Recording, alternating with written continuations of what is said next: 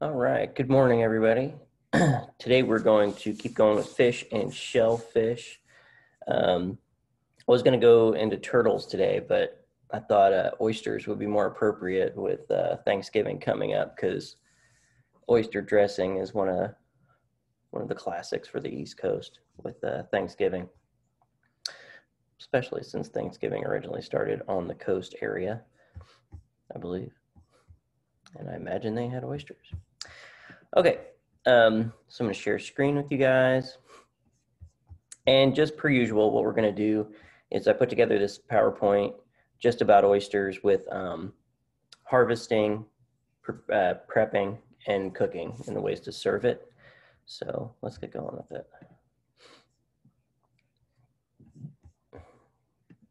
All right. Sorry. Um, so the first picture is just how you can, you know, just a couple ideas on how you can get these things. Um, this is a picture of a restaurant platter. This is their sampler.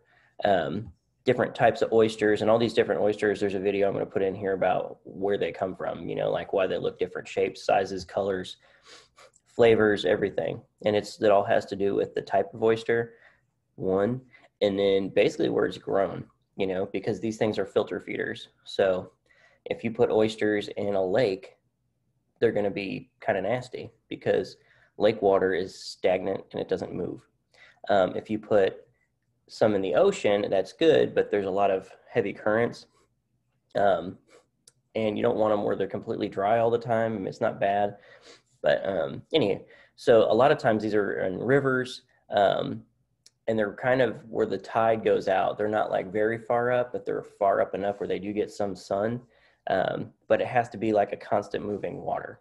Okay, that's the main thing is these need to be in moving water um, just so that they get fresh water to filter and actually clean the water while they're filtering. So, and then this is, uh, here's just two pictures of oysters on the half shell that are eaten raw, a couple dipping sauces. And then this picture is at a, a fish monger, basically a, a fish market. Um, and it has every type of oyster and their price. So just want to kind of show you guys that. It's hard to find a place around here that does that.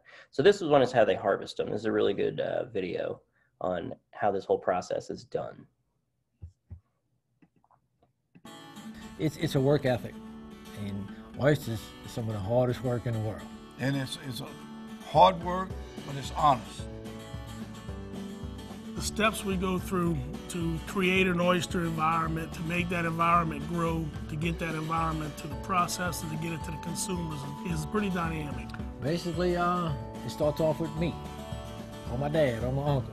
If you want to start originally, go to the Department of Wildlife and Fisheries, apply for an oyster lease and application form. Get that application granted, given to you as a lease. Then you go out and you assess what needs to be done. Most instances, you have to do something to that water bottom to create habitat for oysters. And that comes where we'll either buy shells, oyster shells back, limestone, crushed concrete, any, any kind of hard substrate to create that water bottom and make it more conducive to oyster production.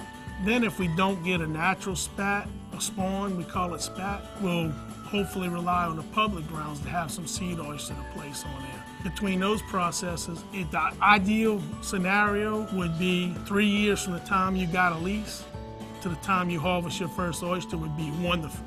You know, in the ideal world, that's what you're looking for. Typically two dredges on the boat. Throw those dredges over and drag on the bottom and those, those dredges rake the bottom and pick up the oysters. Your crew will pick out the market oysters and, and push over the, the undersized oysters and the shells. Usually you've got one or two men on a table with you and you need gloves, to protect your hand, you need a hatchet, a small hatchet at that. And I'm going to separate, knock off the little baby oysters, I'm going to knock off the shells, I'm going to knock off the other foreign items like mussels that I, I can't market.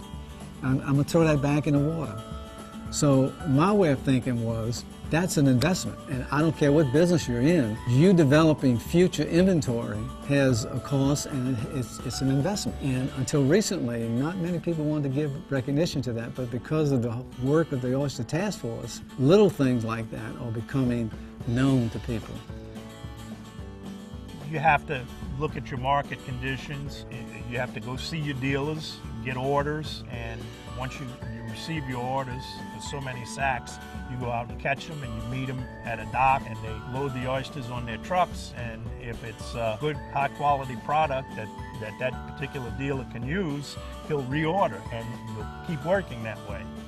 Then you have a whole nother operation that takes this product in and, and then they, they wash it, they grade it, they, they either shuck it or they pack it into a half shell pack and then it goes out into the broader distribution market. What's amazing is that one oyster is going to touch the human hands as much as five to seven times before it reaches the consumer. My family in a, in a normal year will employ as much as 35 to 50 harvest families. Not to mention the docks, you know, three or four docks that have people working at the dock, the truck drivers who haul the oyster the processing plants who have a lot of labor, you know, 30, 40 people at least working in their processing plants. Then it goes to the distributors who haul them to the restaurants and supermarkets. So the amount of people that benefit off of what one oyster farm does is amazing. It involves a whole network of people, and we're talking about you know hundreds of millions of dollars that, that depend on, on, on this economy, the oyster economy in our state.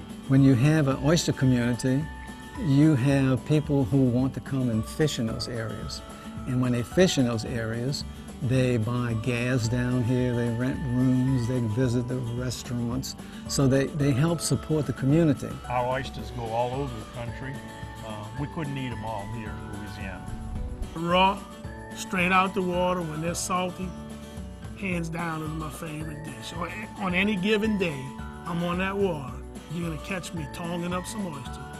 You know, when they're really salty, hmm, I don't need supper. I'll come home full. All right, so that was a really good video. I think that was presented by the uh, this like group, this community group down in New Louisiana that you know sponsors the oyster harvesting. But anyhow, as you can see, that's the second video of Louisiana's bountiful amount of you know the alligator stuff. That's all in Louisiana too. Shrimp. Um, I think they do clams down there, but their their seafood is one of their main attractions slash money makers.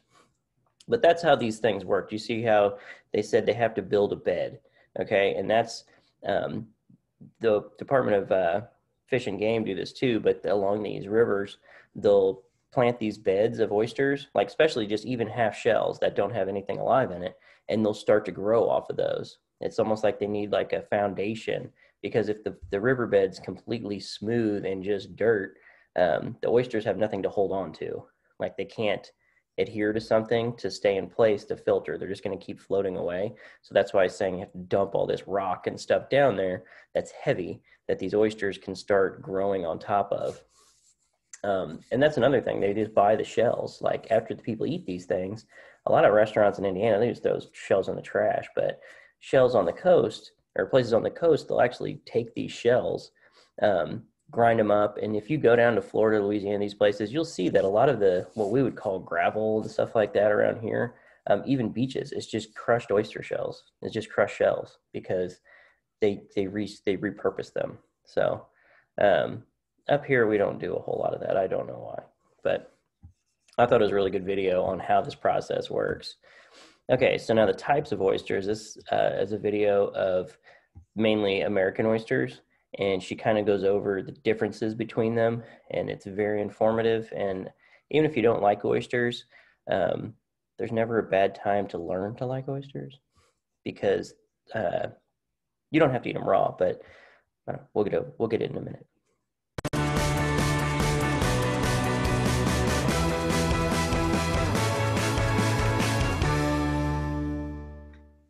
North America, we eat five different species of oysters. However, most of the oysters you see at an oyster bar are variations on two different species.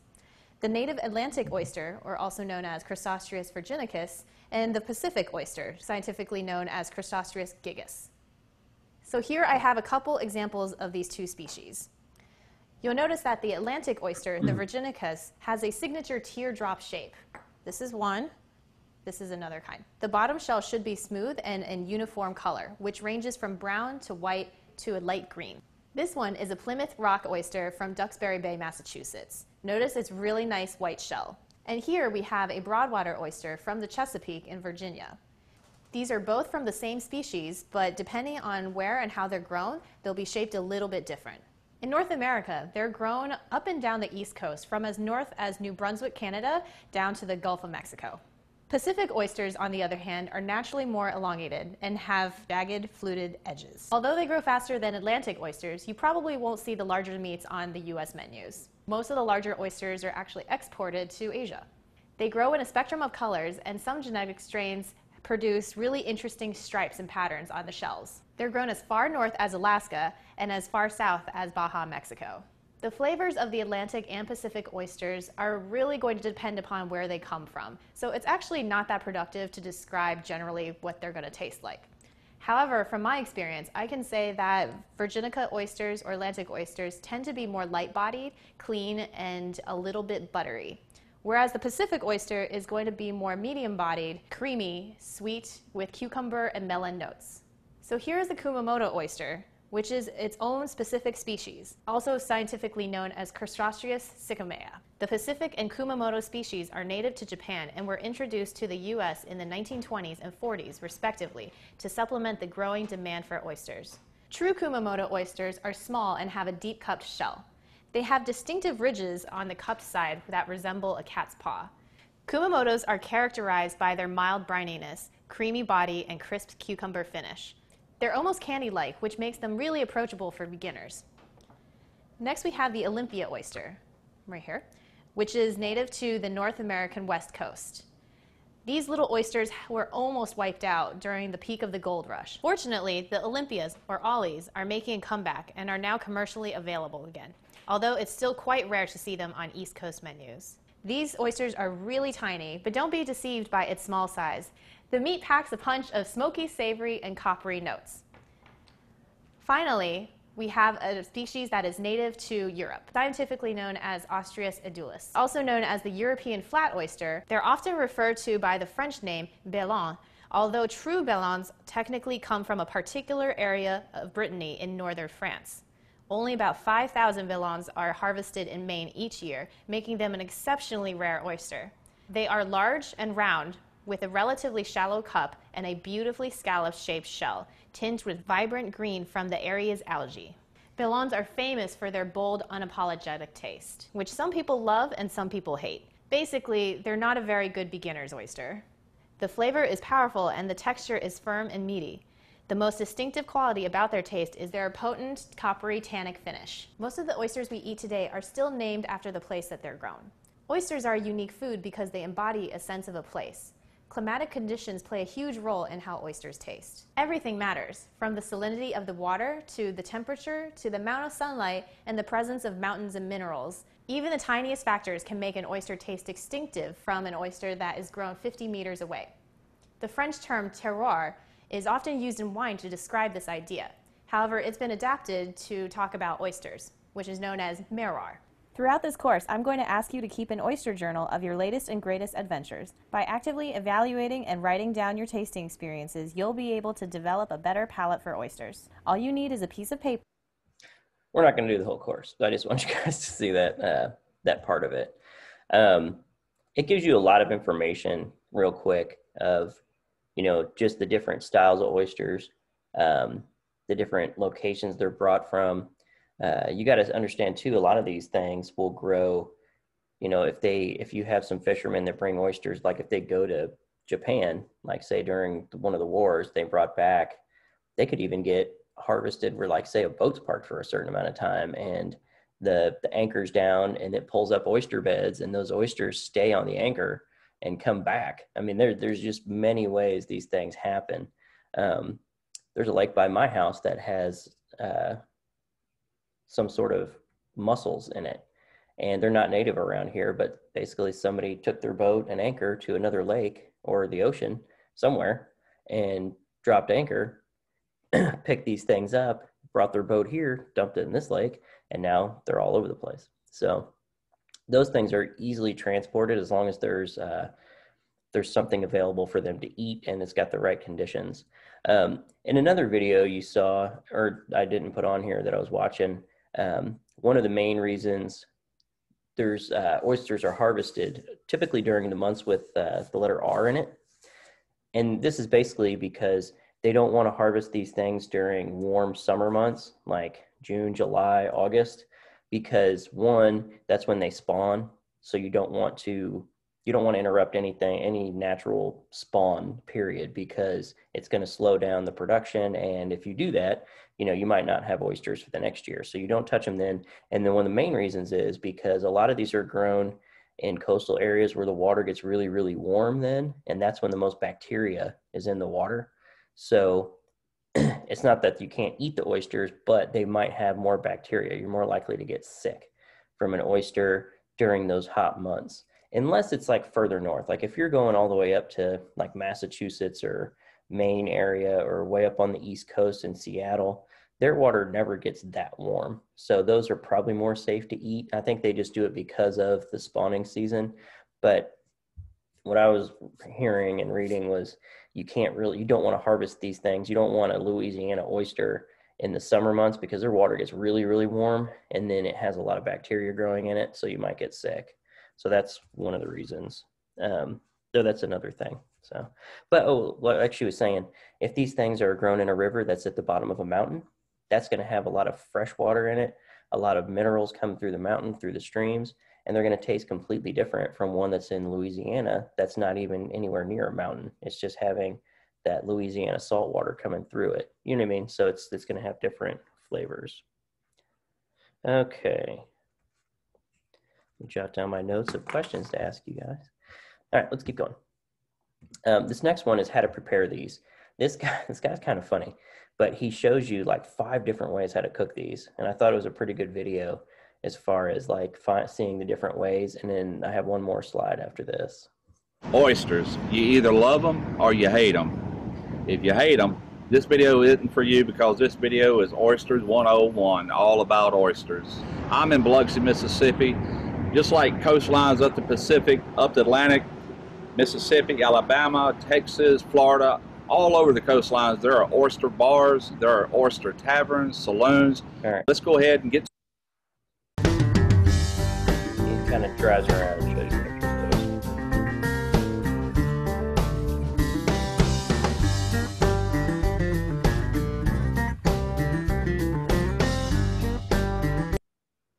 People do. Four, five, six, seven, eight. This is my ninth oyster. Working on our first dozen here. This is how I shuck them. I normally go in from the joint end, as most people do. Occasionally, if the formation of the shell doesn't allow me any easy access, I will go in through the front using a very thin-bladed paring knife to separate the shells. You want to take your oyster knife. That's what this is. is an oyster knife made, designed strictly for what I'm doing here. You want to go in this joint end with your knife, just give a little twist. You'll see where it goes a little bit deeper in there. Once you got it bottomed out, just pop it. All right, it's separated. Now from here, I'm going to give it a little bit of a tug, pry it open, then run your knife through the top of the shell. And what you're basically doing, if you look right here, is I'm trying to sever this muscle right here. And there it is. There's an oyster all intact. Got the liquor in there. Do not let that liquor pour out. That is pure flavor. If you got any little bits of shell or anything in there you don't care for, just scrape it out. That's looking beautiful. These are beautiful oysters. Come out of Pass Christian, Mississippi, actually on Louisiana waters, which is just due south of Pass Christian. All right, we're going to char grill this dozen here. I've got a ton of oysters left. This is probably the simplest form of char grilled oysters, but hey, very, very delicious. I've got other oyster videos on my channel. Bloody Mary oysters. I've got my own rendition of oysters. You're getting close. We're going to be adding a garlic butter with a little bit of parsley to this. That's really what's going to kick it up a notch. These are going to be excellent.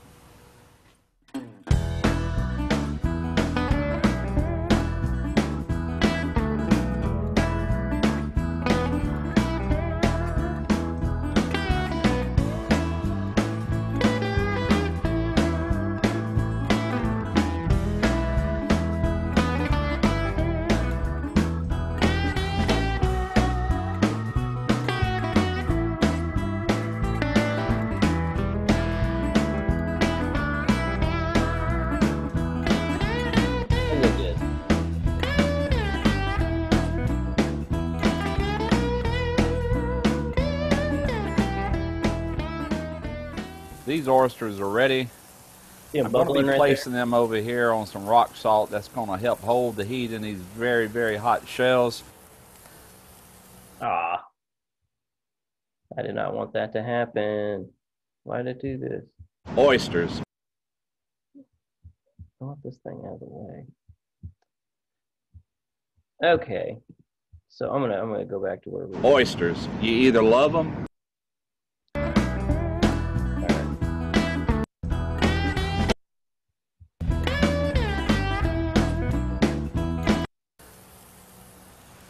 I'm The right here. begin to curl back, That's what I'm saying. plump up. You know they're ready. So this is one of the many ways I enjoy oysters. There's so many things you can do with it. You can fry oysters. I use them on an oyster po' boy. They're fried. I, a lot of times I mix them with shrimp. My favorite way, which is what we're going to do next, is raw oysters or naked touch of the cocktail sauce. This, this is more than likely how you're going to see it. I'm going to show you that. It's coming up next. There's many All right. The flavors. They are perfectly salted. That's the thing about them. This is oysters on the half shell. This is where you shuck them, serve them with cocktail sauce, um, lemons. That's the traditional way. But the next Anytime you prepare oysters like I've done today, you never add salt because you've got the perfect salt content from the ocean, from the sea. Now we're going to be doing some fried oysters. Going to make some real simple, easy to make little oyster po' boys. Going to start by taking one egg. Going to take some beer. We're going to add this beer into that one egg. Now you guys can't use beer, but they have a. You could put Sprite, something like that. But this is just the video. This is a traditional way. That's why they have this on here. We're going to beat this in. I've taken and drained these oysters, all the juices out of them. We're just going to let them hang out right here in this beer and egg. While that's doing that, I'm going to take self-rising flour and I'm going to season it pretty liberally. Just use your favorite seasoning.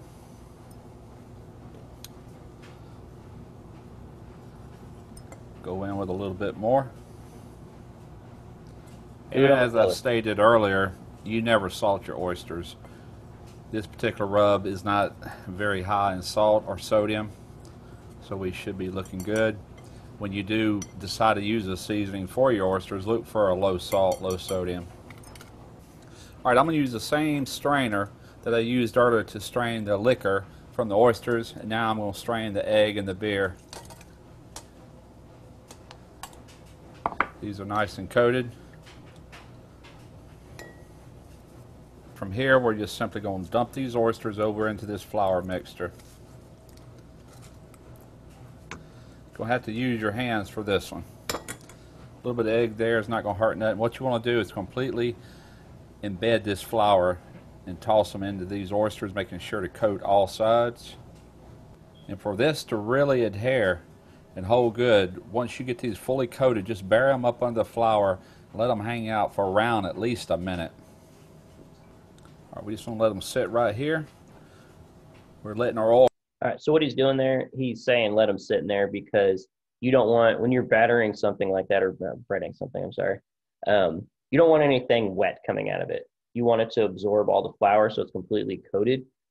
Because when you throw something like a very soggy oyster into fryers, um, it could boil over. Like it could be kind of detrimental. Um, I used to work at a seafood place on the water you could actually pull your boat up to it and dock. And it wasn't, wasn't fancy, it was just like a shack, but we would fry thousands of oysters daily.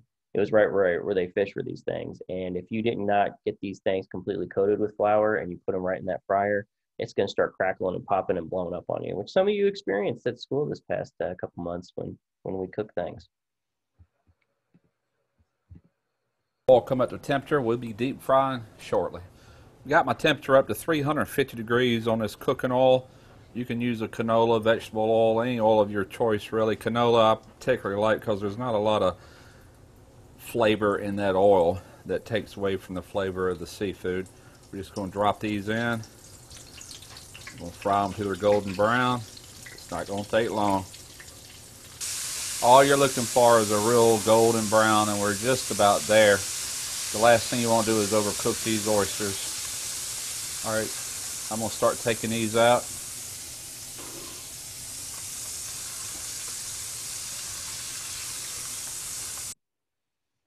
A real restaurant quality. If you go into the seafood restaurant, some po' boy buns, and we're gonna put us a po' boy together.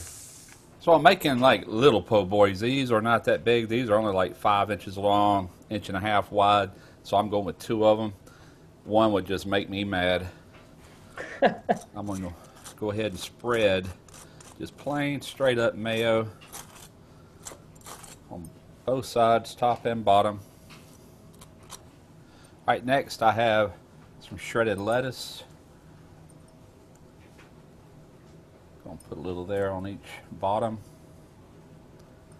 Video up also where I did a, a oyster BLT using the homemade bacon I did. Oh my goodness.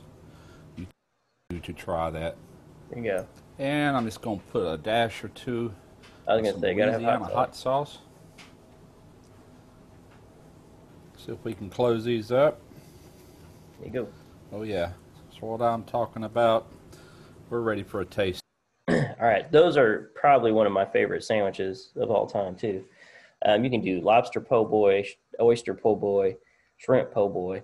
I think shrimp and oyster are probably my favorite. I like lobster rolls myself, but easy way like to sh- and you can buy these oysters like he had them. Like you can buy them in a can. Actually, you can buy them shucked already, um, and then that kind of goes Oysters. You Okay, so the last part, I just want to show you guys some different styles. Like you saw the fried, you saw raw and the half shell, which is the traditional way people eat these things. Um, and you saw that guy in that video where he's like, if I go out on the boat, I come back, I don't even need dinner because I eat so many oysters out on the water. Um, you just eat them raw like that, and they're it's just a, a very unique, delicious flavor. But um, here's another way you could broil these, season them, turn your broiler on in your oven, pop them up top, and um, it just they firm up enough. So if it's a texture thing with you, just just roast them, uh, put them on the grill like he did in here. This one is called uh, the Rockefeller style, where you take I've seen this ten different ways, but basically it's like bacon, spinach. Um, you can put cream in it. Um, not a lot of salt, but pepper, and you cook it like you make like a filling, and you put it on top, and you braise them uh, or broil them, and you can put hollandaise sauce on it, whatever you want. This is a Benedict. Remember we talked about Benedicts during breakfast. Um, this is an uh, oyster Benedict. So it's a bread. It looks like they have a green on here, um, poached egg, and then fried oysters. There's the fried oysters, and there's a poached egg up top, and then the hollandaise sauce on top. That's probably like the richest Benedict I've ever seen. And then this last thing, which some of you guys might have had, this is oyster dressing. So that's why that's the main reason I wanted to do oysters today because Thanksgiving's coming up, and uh, dressing's like a traditional, you know, a traditional item. And if you guys don't understand what dressing is originally from, it's not because it never came in like a bag where you add seasoned stuff to it. Typically, many years ago, and this, uh, pretty much every other country, um, you bread is just a daily thing. Like you don't buy these giant bags of bread that we have at our grocery stores. Like I lived in Italy for a little bit, and there was a bakery across the street. You go get your bread every day. Um, every morning, you just go over there. The baker's probably been up since 11 o'clock the night before, baking bread all day or all night. And typically, every household would have leftover bread, like stale bread. That's where you get your French toast. That's where you get your oyster dressing. That's where you get croutons, just stuff like there's Italians have a ton of different things, like panzanella and stuff like that. And pan is just bread, um, where they take leftover day old bread and make something with it. Bread crumbs. That's why you have things that are breaded because you have old bread. Um, and that's what this is. That's where the dressing comes from. Is somebody didn't bake bread just for dressing? They bake. This is the old bread they chopped up add some oysters to it, maybe a little chicken broth, sauteed mirepoix, whatever vegetables you have, and then you bake it. And then it, it ends up absolutely delicious. And that's probably one of my favorite things in the world, but I can't eat it. So, all right. So there's our uh, oysters talk. Um, I think, I hope you guys liked it. But Show your parents the oyster dressing. I guarantee someone in your family has had oyster dressing, and they're like, "Oh, we gotta make that this year." Guaranteed, hands down. All right, guys. Have a good Thanksgiving, and I will see you uh, a couple weeks.